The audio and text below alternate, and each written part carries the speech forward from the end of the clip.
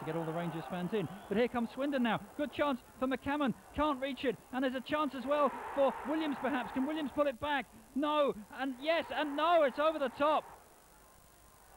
And Steiner charged down. Another scramble. Steiner, great save by Frank Talia. And Gallen.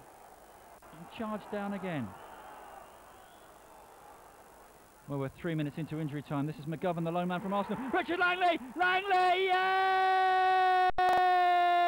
Goal! The first Rangers goal of the new century, of the new millennium. It falls to rising star Richard Langley.